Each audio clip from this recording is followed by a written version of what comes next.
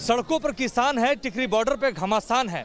आंदोलन के आज 19 दिन बीत चुके हैं, एक दिन का अनशन। किसान यहाँ पे कर रहे हैं। सुबह आठ बजे से लेके शाम को पाँच बजे तक इनका अनशन चलेगा। इस अनशन का कितना बड़ा असर होगा, ये तो देखने वाली बात है। लगातार किसान संगठनों का ये कहना है कि जब तक तीनों कानून वापस नहीं हो जाते, तब तक ये इसी तरीके से डटे रहेंगे। इस वक्त आपको टिकरी बॉर्डर की उन तस्वीरों को भी दिखा रहे हैं, जो हमारी नज़रों के सामने है। खासतौर पर किसानों का यहाँ पर लगातार ताता हमें दिखाई दे रहा है। लगातार किसान संगठन के लोग हैं, वो यहाँ पर आपको आते हुए दिखाई देंगे। ट्रैक्टर, ट्रॉली बस से के माध्यम से यहाँ पर जो किसान है, वो पहुँच रहे हैं। लेकिन किसान क्या सोच रहे हैं? क्योंकि सरकार लगातार ये कह रही है कि हम बातचीत के माध्यम से रास्ता निकालना चाहते हैं। लेकिन किसान ये कह रहे हैं कि भाई, आप बिल वापस कर लीजिए कानून वापस कर लीजिए तभी हम बात आपकी मानेंगे। मैं आपसे समझना चाहता हूँ। सबसे पहला सवाल यही पूछूँगा। सरकार ये कह रही है कि आप बात नहीं समझ रहे तीनों कानून बहुत अच्छे हैं और ये तीनों कानून देश के किसानों के हित में है।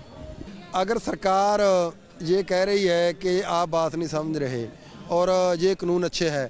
तो वो इसमें संशोधन करने के लिए क्यों तैयार हुई है?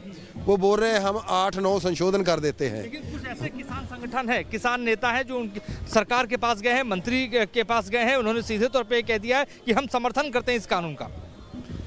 इस देश में जहाँ दुनिया में ऐसे लोग भी होते हैं अंग्रेज़ों का समर्थन भी करते थे। अंग्रेज़ ये दिल्ली की गद्दी पर बैठे हुए जो लोग हैं। बीच का रास्ता नहीं। कोई बीच का रास्ता नहीं। सरकार पर दबाव बनाने के लिए अन्नदाता आज अन्न से दूर है। अब देखने वाली बात यही होगी कि सरकार पर कितना बड़ा दबाव बढ़ता है।